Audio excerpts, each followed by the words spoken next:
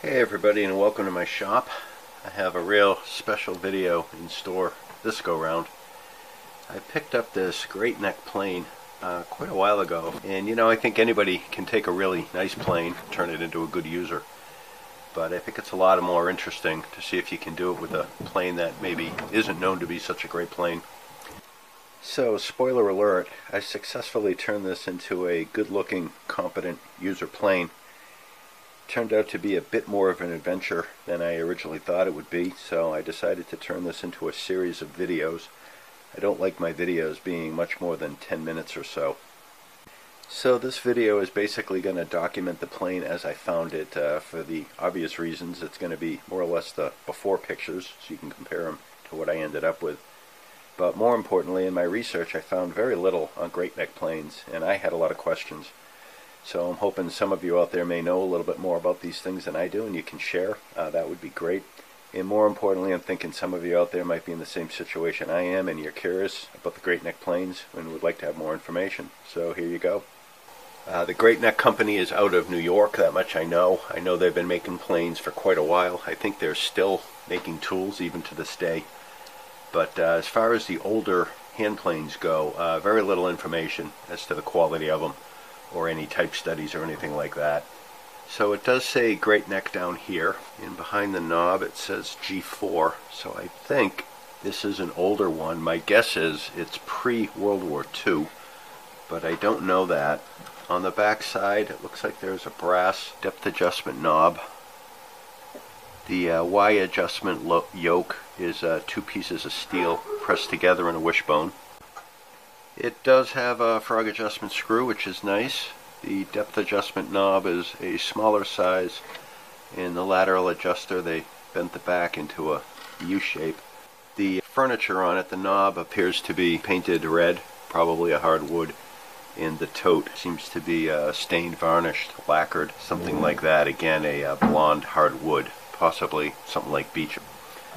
As I've seen pictures of these G4s, they have this front knob that's painted red. It's kind of a cross between a clown red and maybe something a little darker. It's not a very natural looking color. And the tote sort of has a golden oak type of tone to it. And I think they kind of come that way, two-tone.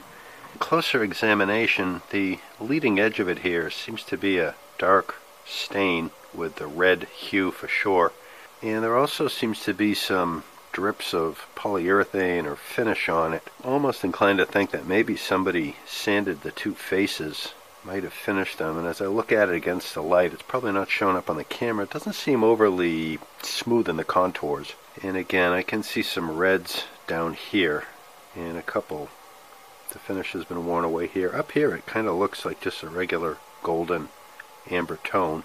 I noticed on the bottom very late in the game. I don't know how well that's showing up, but it's that bright red, almost the color of the garnet paper, almost the tomato red. It's pretty much the same red as is on the knob.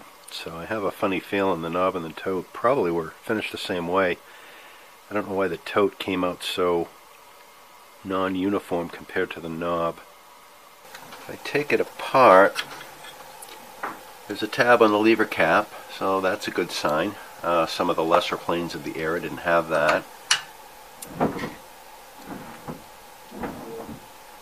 Iron and chip breaker look ordinary. Appears to have quite a shine on it. The chip breaker may have been nickel plated, hard to tell.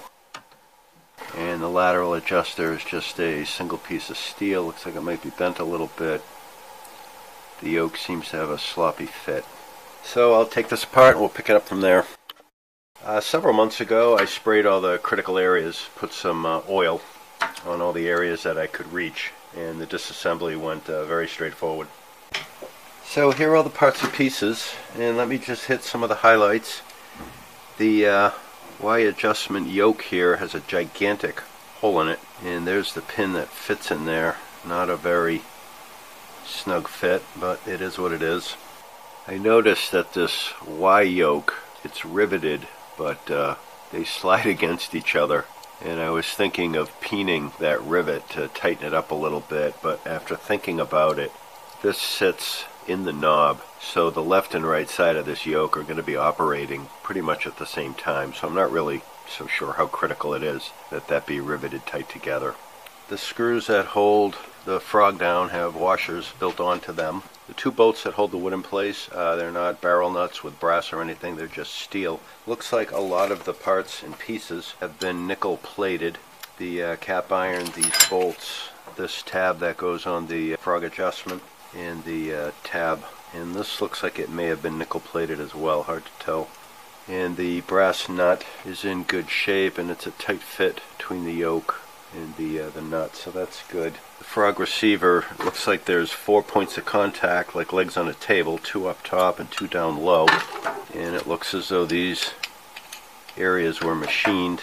Looks like this was machined. So overall, I'm tempted to think this may have been a late pre-World War II, maybe late 30s, early 40s. Again, I'm just guessing. If any of you out there have any great information, any resources, feel free to point me that way. I'm also very encouraged there's a lot of sawdust all in the plane, so it's clearly used by somebody. The finishes look okay. The iron, again a lot of sawdust there. If you look at it, it's a pretty cleanly defined edge. So I'm encouraged by that as well. And I cannot see any kind of logo, even under magnification I couldn't see anything. The lateral adjuster looks pretty heavy duty rivet on both sides holding that in place, so not even going to consider taking that off. Well, there are the parts and pieces. Now the real fun begins. And you know, crosses my mind with the uh, furniture hardware being just steel screws. Maybe this is a World War II or post World War II vintage. I don't really know, but if any of you guys out there know, please let me know. I'd appreciate it. And stay tuned for the next videos where, like I say, the real fun begins. The second video in this series is going to be more of the details on how I actually tuned it up and got the thing working like a champ. And the final video focuses on the knob and the tote and the depth adjustment knob, getting those to look like a million bucks. If you get any comments, uh, like, subscribe, let me know. You know I love to read them. And as always, uh, stay out of the hot sun. And I look forward to catching up with you all on the next one.